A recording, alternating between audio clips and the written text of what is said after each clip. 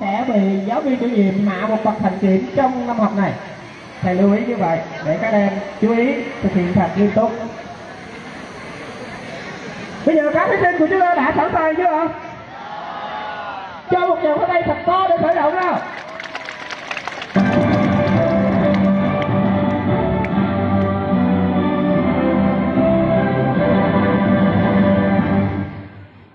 Và sau đây không để các em phải hồi hộp nữa. Chúng ta bước vào câu thứ nhất.